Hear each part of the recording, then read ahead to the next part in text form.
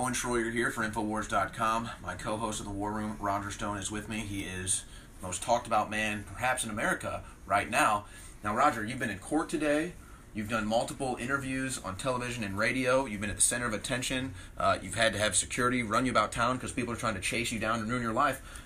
But somehow, in the middle of all this, you've hacked Jeff Bezos' phone, one of the richest men in the world. How did you pull it off? Uh, breaking news here: uh, the Daily Beast is about to publish a story claiming that uh, that I, working with President Trump and the NSA, uh, hacked the cell phone of Lauren Sanchez, the paramour of Jeff Bezos, or that we hacked Bezos' cell phone, uh, and that we gave the information to the National Enquirer.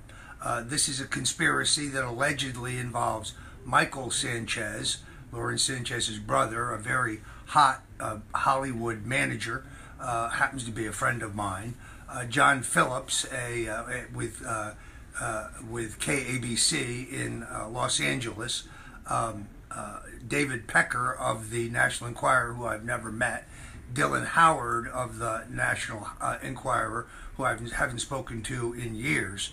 Uh, this is the insanity of the left. This idea is being pushed by the Amazon PR people, a guy named Gavin, who's completely full of crap. Uh, but we've now broken the story first on InfoWars. No, the Trump administration, the Trump NSA, the Trump intelligence services, which he doesn't even control, did not hack Jeff Bezos' cell phone. No, I'm not involved in the hacking of Jeff Bezos' cell phone or any other hacking.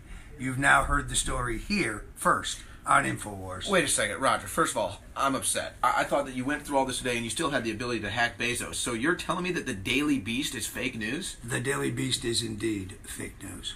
Oh my gosh, this is shocking. So it turns out, in a crazy twist of events, it wasn't Roger Stone or the Trump administration that hacked Jeff Bezos' phone. It turns out that the Daily Beast is just fake news. Darn it, Roger. Roger Stone, Owen Shroyer, InfoWars.